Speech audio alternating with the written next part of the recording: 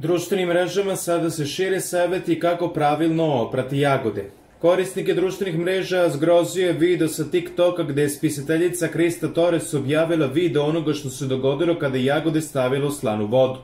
Ona je jagode ostavila 30 minuta da se namoču u slanoj vodi, a zbog rezultata namakanja mnogi su se zakleli kako nikad više neće jesti jagode. Nakon što je pola sata stajala u vodi, jednom se jagodom kretao maleni beli crv. Miče se evo ga, o moj Bože, povratit ću, gade mi se sada, govori Krista Torres u videu koji je postavila na TikToku. Korisnica TikToka imali slično iskustvo, no iz njenih jagoda izlazile su maleni kukci.